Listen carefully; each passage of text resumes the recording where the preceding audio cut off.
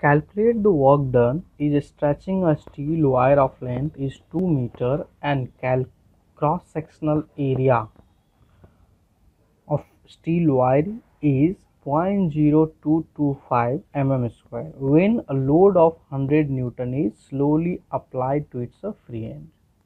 So basically a wire a one wire is given made up of a steel their length is given 2 meter and their cross sectional area is given 0.0225 mm square. Here load of 100 newton is applied. At free end. And y is given 2 into 10 to power 11 newton per meter. So calculate the work done. So first given data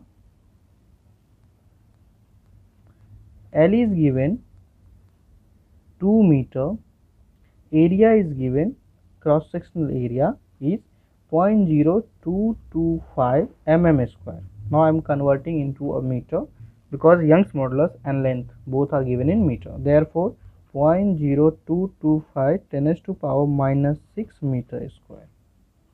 And y is given 2 into 10 to power 11 newton per meter square. And the load is given force 100 newton. Find work done. Formula. We know work done is equals to 1 upon 2 f into delta l. I have the value of force but the change in length is not given. Therefore with the help of young's modulus i can calculate delta l.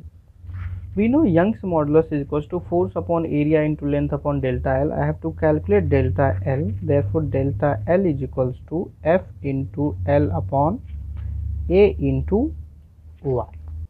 Therefore i'm putting the value of delta l into a work done. Therefore it will be 1 upon 2 into f into f into l upon a into y.